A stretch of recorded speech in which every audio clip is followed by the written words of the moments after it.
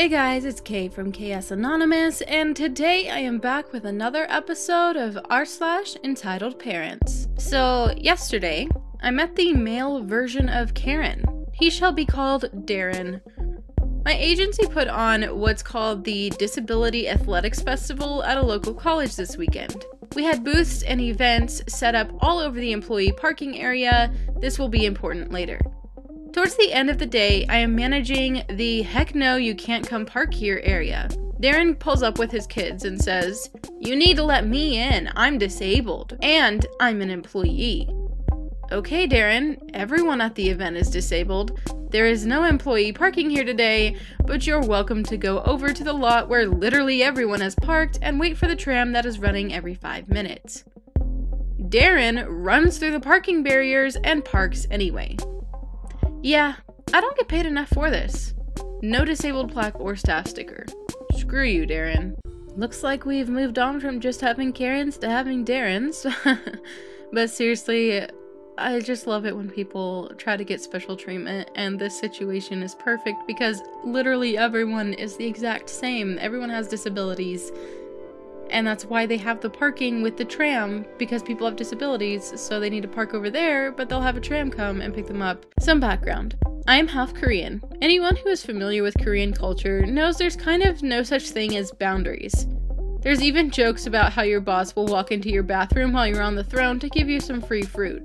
We regularly have Koreans who just walk into our home without knocking and then look offended that we're present in our own house. We don't look 100% Korean and my dad is white, so I guess I understand some of the surprise when they're expecting to buy kimchi from my Korean grandmother. Not only that, but Korean culture is all about respecting people older than you, so older generations who immigrated to the US tend to be oblivious and entitled. More background. I have two older brothers and we all play games. We were lucky enough to have an Xbox and PlayStation for our TV and two computers to game on. This was just enough that if we all wanted to game, we could occupy ourselves with a TV or a computer. I was about 8 or 9 years old. EM visited several times because Koreans like to talk to each other and gossip, even if they're strangers.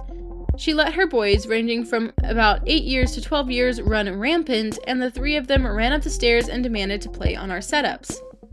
My brothers and I were confused, but we figured it was a one time deal the first time and let them hang out and hog the gaming systems while we watched and stood around awkwardly. Unfortunately, they were there for most of the day, and EM all the while would feed them our food from our fridges. Asians tend to have more than one fridge.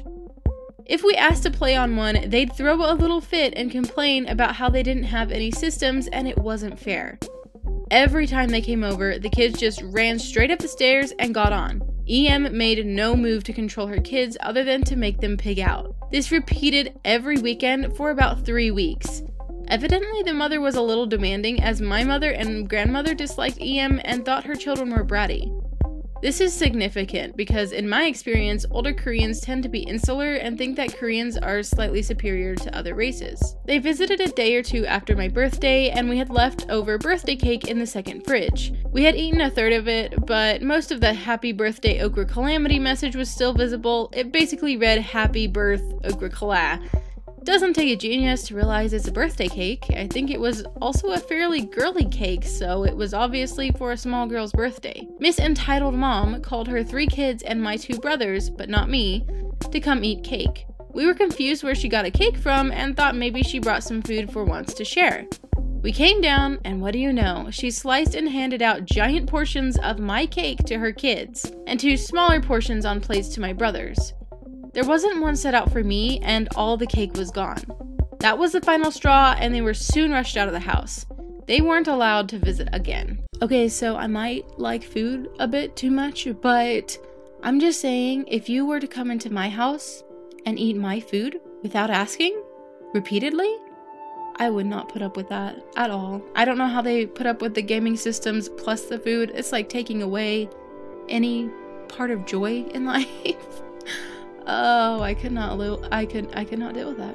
So, I work at an amusement park exclusive to my town. It's a relatively small park and it's meant for little kids. One day, I was working the boat ride. The way the ride works is that there are about 15 boats that float around in a circle. The boats are lifted up onto a conveyor belt to load and unload people. Since we have to cycle the boats at the end of the day to make sure there are no more people on it, closing the ride at the end of the day usually takes a little while. Anyways, it's 5:59, the park closes at 6, and a dad and his kid walk up to the entrance. The dad asks to ride the ride. My coworker, who is monitoring the exit, tells him that we are closed since letting this dad on will extend our closing time and the park is about to close in a minute. The dialogue might not be entirely accurate as I was moving the boats a little ways away and didn't hear all of it, and only got the full story when my coworker explained it to me after. Dad. Well, why can't we ride? It's not even 6 yet. Coworker. I'm sorry, sir, but this ride takes a while to cycle through all the boats, and the park closes in a minute. Dad. Well, it's not closed yet, is it? So what's the problem? Let us on. Coworker. Sorry, but we can't. Dad. But my kid is autistic, and he likes this ride. Now, I'm not going to argue that the kid wasn't autistic, since he clearly was, I could tell from the way he moved and walked, but why should that change our answer? At this point, it is 6 o'clock and the loudspeaker announces that the park is now closed. Coworker. The park is officially closed now. I'm sorry. Dad. All the supervisors here know us. I'm sure they would be very upset to hear that our needs are not being taken care of. Coworker. Like I said, the answer is no. Dad. Call your supervisor right now. If you won't let me on, I want to speak to them. At this point, we just let them on because getting the supervisors involved would have been much more of a hassle. The entitled parent won this round, sadly. Look, I 100% understand why the dad would be wanting his child to go on there, especially because people with autism are pretty obsessive with interests, and if they really like the boat ride, that might be like the highlight of his day and everything. But the thing is, it's on the dad's end to not be there one minute before the ride closes. Let me know what you guys think about that. To preface the story, I work at a large supermarket. This incident happened at Christmas when we were all ridiculously busy and stressed trying to keep up with customers. I work on the checkouts, which were absolutely rammed that day. I had just started my shift when EM immediately raced for my checkout just as it had opened. Me. Hi, how are you today? EM. Hi, I'm not buying anything. My daughter picked up this bow off the floor and we were wondering if you could tell me the price and show me where more of them are. Note, at this point there were already at least three customers queuing behind her with full shopping trolleys. Me. Sorry, but I believe this is someone's lost property as it belongs to the child of one of our regular customers. I work a lot, so I recognize the bow. And we don't actually sell those ourselves. Her kid is holding the bow and is trying to put it in her own hair. Me not believing that she wouldn't try to walk out with it, asked for her to hand it over. Me. I can hand it in to customer services for you to ensure that she gets it back next time she comes in. Her kid starts crying at this point because I'm asking for it back.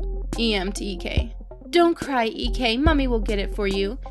To me. Could you possibly call a manager? Surely they wouldn't mind if we take this small thing just this one time.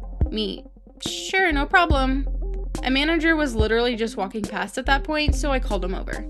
Manager. Hi, everything okay, OP? EM.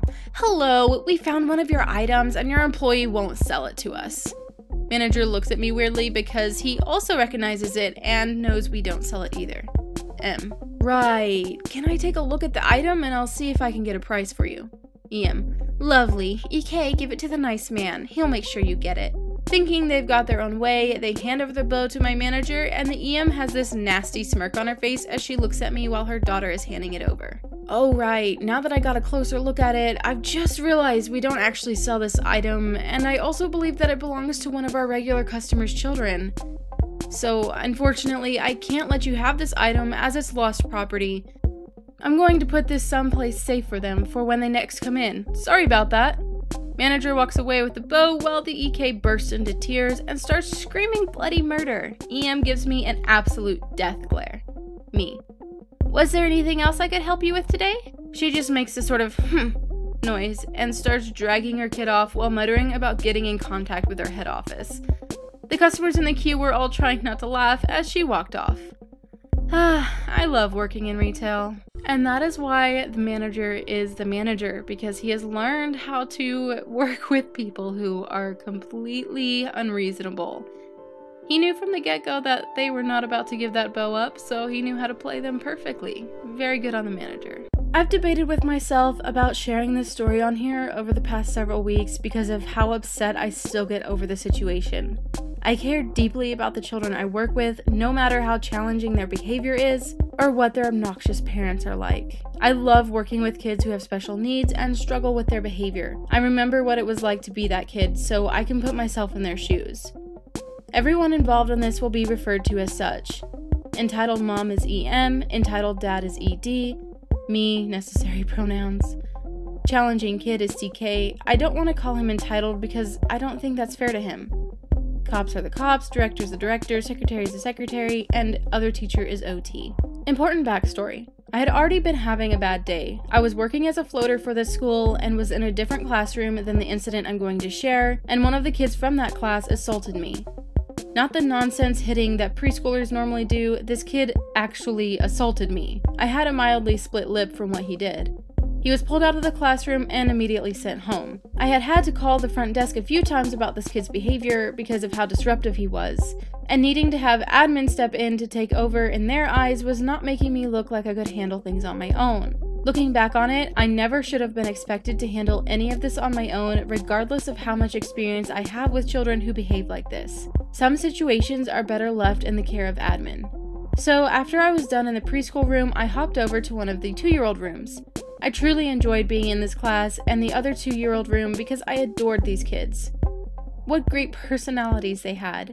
CK in particular could be very sweet, and I felt I was connecting with him really well, even though I wasn't in his class every day. OT informed me some of the basic stuff I needed to do and then left the classroom.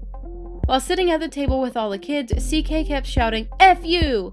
at me, and I kept reminding him that we don't use that language in the class. One of the other students was repeating what I said to CK, and this child was especially upset by CK's behavior. CK resorted to giving me the middle finger. Remember, CK was just over two years old when this happened. Two years old, and he's giving me the middle finger. The first time I told him he couldn't do that, he started doing it to the other children. I reached out and covered his hand with mine, told him he couldn't do that, and surprisingly, he stopped it.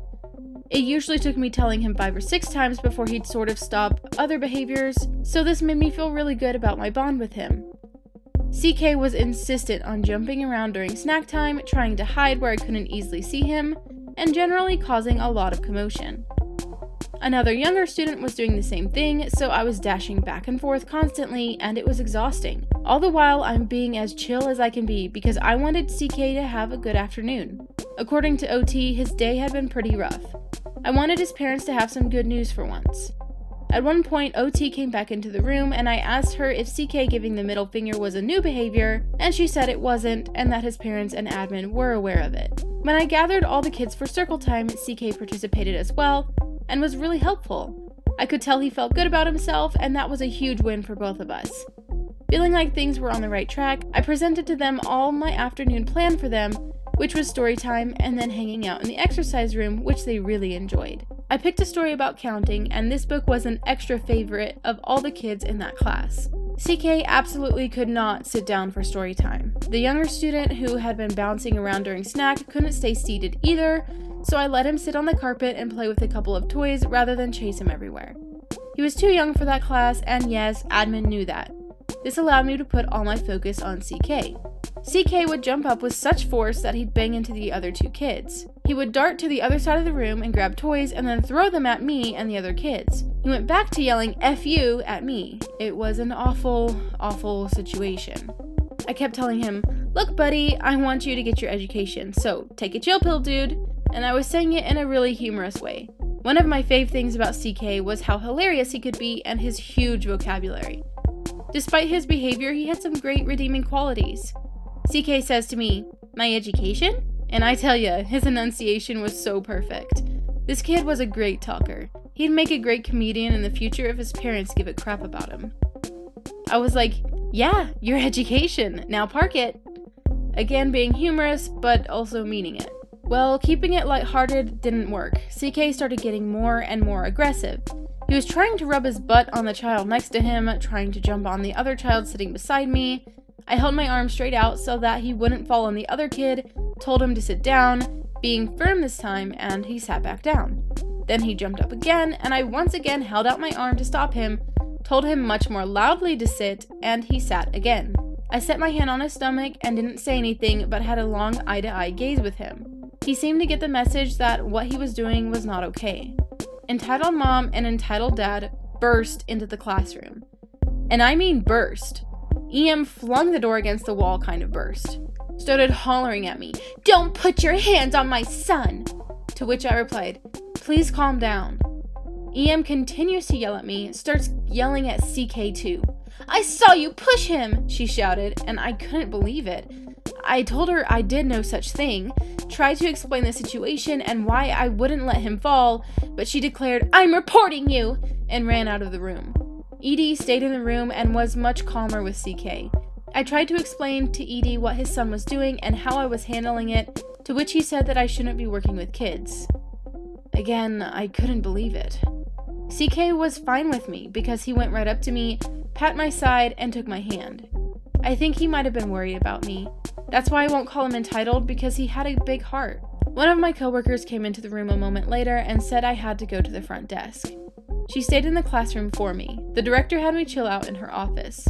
These entitled parents were screaming and hollering in the lobby, first telling the director that I pushed CK once, then said I pushed him three times, and then went back to one push. Like they couldn't get their story straight. Admin should have seen right through that. They claimed they had been standing outside the room watching for several minutes. I knew this wasn't true because I did happen to look over at the room's windows and never saw anyone standing outside them. So that was a BS claim. And if I had pushed him three times, why did it take you seeing me do that three times for you to finally react to it? Again, admin should have seen right through this. ED actually called the police. Well, first he asked the secretary if he should call the police, and she wouldn't answer his question. Then EM told him he should, so he did. EP had an explosive discussion with the officers, who then came to talk to me. They were totally unimpressed with the parents' claims, even before I explained to them what I wrote in the above paragraphs. Of course, I wasn't warned or charged with anything. I could see CK out the front windows of the school, he had a big smile on his face, and he seemed to like meeting these officers. Officers who were really kind to me, by the way. Unfortunately, the director, being an idiot who couldn't see through the BS these parents were telling, told me I had to be placed on suspension until an investigation was complete. Two cops just told you that nothing happened. Officers are mandated reporters. If they don't think anything happened, why do you? How insulting to have that little trust in me after working with me for so long, and after there had been real instances of abuse carried out by other teachers which I had witnessed and reported to the director. A good takeaway is that DCF told the director that nothing happened, there was no case, and refused to investigate. When DCF says that there's no abuse, you need to take that seriously. Instead of leaving it at that, the director kept pursuing it until she found someone who would investigate from another state office. Of course, no wrongdoing was found. Sadly, even though I am still employed there, they filled my position, which is against the law. So I have that battle to fight with them. So even though I'm employed, I'm also unemployed. All because these stupid entitled parents didn't like that I wouldn't let their child hurt another child. If I had let him throw himself on this other child, they would have been mad at me for that too. This incident seriously made me reconsider teaching. I never thought I'd be in this kind of situation, thinking I should choose a different career. 15 years of working with kids, and this has never happened to me. I hope parents of other children read this and start to reconsider how they treat teachers. The good teachers are giving up on this profession because of how vicious parents can be. Looking back on this, I didn't want to call up front again after having to call up front so many times for the preschooler who assaulted me. I had considered asking to go home early, but the other teachers needed me, so I stayed. I should have called up front about CK, made admin see his behavior and handle it. He wasn't too much for me to handle, but his parents definitely were. And as much as I cared about CK and his future, I still think he should have been booted out of the school. To the best of my knowledge, DCF is aware of CK's behavior and the parents are being investigated. Honestly, this story just makes me really sad because a lot of teachers, you know, they're gonna get fed up dealing with children with really challenging behavior like that who are going around cussing and flipping them off when they're two years old, throwing things, just being disruptive and never able to settle down. But this kind of teacher, you can just tell, really does love her students and I'm honestly upset right now over how these parents treated her and really how that school has treated her. I think not only is it on the parents in the situation, but the school definitely is not good at handling it. That they were fed up with her for following how she should with protocol and then making her feel like she couldn't ask them for help, which led to that problem being even bigger. And then them not believing her, and then not believing the cops, and not believing the DCF, and filling her position just sounds like a terrible school administration. But that those parents were able to really be the catalyst to that situation is just so frustrating. I've been a teacher for less than two months. School here starts in February, and I work in a small school. So I don't have as many EP horror stories as other teachers have, but last week I met an EM and I wanted to share it here. My second grade group is small, so there's only three students. Let's call them Joe, Aaron, and Luke. So last week, Joe and Aaron got into a fight, and Joe called Aaron a B word. I sent them both a letter home about the fight, but I was especially concerned about Joe's choice of vocabulary, so I made sure to include that. The very next day, Joe's mom showed up in the school demanding to speak to me. EM is entitled Mom, me is yours truly, and VP is the vice principal.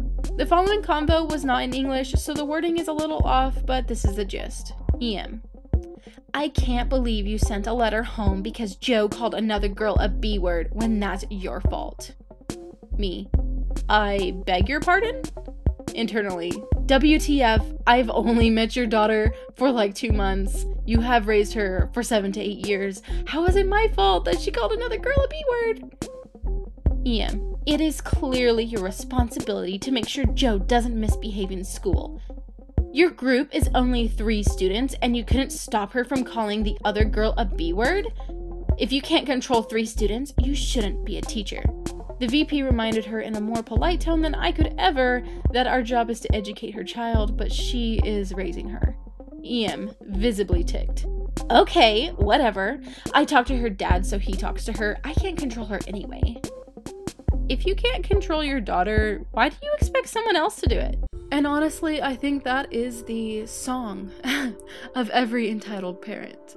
It's that they can't really control their child and in some way expect you to.